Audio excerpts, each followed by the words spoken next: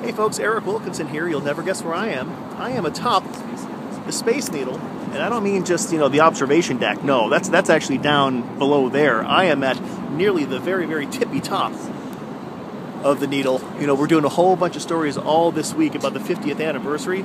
Uh, today's story has to do with them painting the top of the needle that orangish color that it originally was back 50 years ago for the World's Fair. We'll be working on that. and We'll have it for you tonight on King 5 at 5 o'clock. Take it easy.